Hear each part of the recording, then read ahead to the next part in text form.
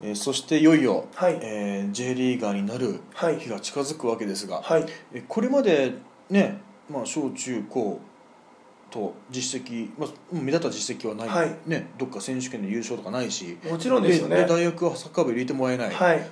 でもうダメだ日本はってブラジル行っちゃったみたいはない。感じじゃないですか、はい。まあ、そこで、まあ、所属所属していたところが、はい。あのまあ、マイナーなリーグっていうかそんな大きなチームじゃないと、はいそこでなんで J リーガーになるかなってしまったのか、そこをちょっとざっくりと、まあ、話してもらえたらなわかりました。はい、経緯というか、まあそうですね。えブラジルに行って朝から練習昼から練習時には夜も練え習。うん。そんな生活だったんですよね。でもそれが自分の中ですごく充実した時間だったんですよあの朝から夜夜までサッカー漬けっていうのがそうですね。幸せ。幸せでしたね。うん。何もなかったとしてもうん。一日一日1秒ごとにとこを言うとさすがに大げさかも分かんないですけれど自分の目目標に対して進んでいる自分がいる。うん。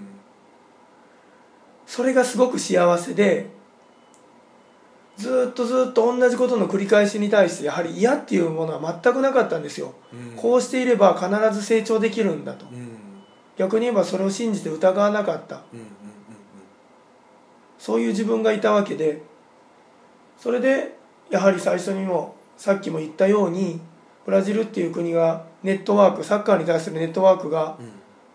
すごく発達していたのでちょっと目立った活動をすれば、うん。活躍をすれば、うん拾い上げてもらってで目立った日本人が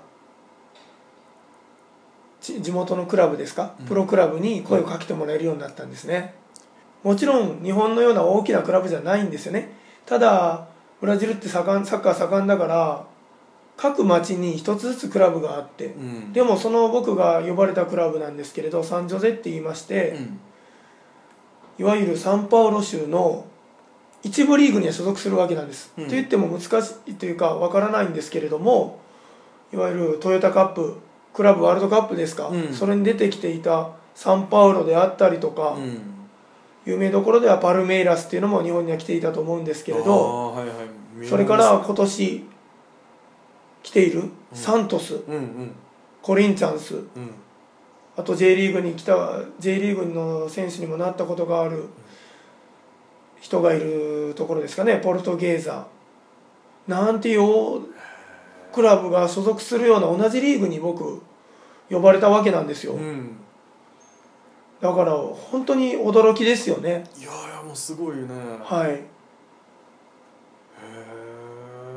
びっくりで。まあ喜びが隠せなかったっていうんですかね。やはりそうですよね今までやってきてよかったなと、まあ、そう思いましたよね。ブラジルブラジルまで来てよかったなと、は。い。うん、でそしてついにまあ J リーグ FC 東京はい。っですね、ていうのも、うん。本来であればそのサンジョゼでプロになるはずだったんですよ、っうんうん。ていうかプロになれば日本に戻ってくることがなかったので、うん。ブラジルで頑張ってっていう活動をして活躍をしてっていうことになるわけなんですけれど、うん簡単に言うと労働ビザが下りなかったんです。うん。労働ビザが下りないと僕は日本人なのでブラジル滞在ができないと。うん。そうするとやはり泣く泣くなんですけれども、うん。帰国っていうことになってしまうわけなんですよね。でその事事実が分かって、はい。ああどうしようってそうですよね。うわチャンスがねえ。やせっかく掴んだのにね、って思ってうんどうしたらいいんだろうってやっぱり思いますよね、ね。でもブラジル人ってすごく優しいんですよね。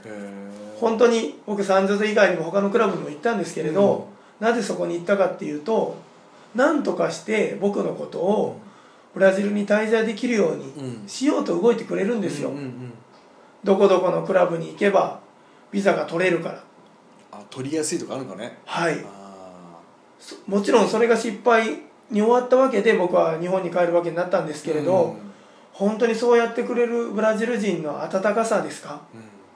本当身に染みて感じましたね。でやはり中には日本に来たことがあるブラジル人もサッカーの盛んな国だからいっぱいいたわけなんですよ、うん。で直接声をかけてくれるんですね。うん。ブラジルから日本に対して日本のクラブに対して林っていう外国人日本人がいるから、ちょっと見てあげてくれないか。っていうようなことを言ってくれてそれでまあその中で FC 東京がじゃあ一度見ましょうか。っていうことを言ってくれたんですよ。幸せですよね。中央大学のサッカー部でさえ見向きもしてくれなかった。誰だと？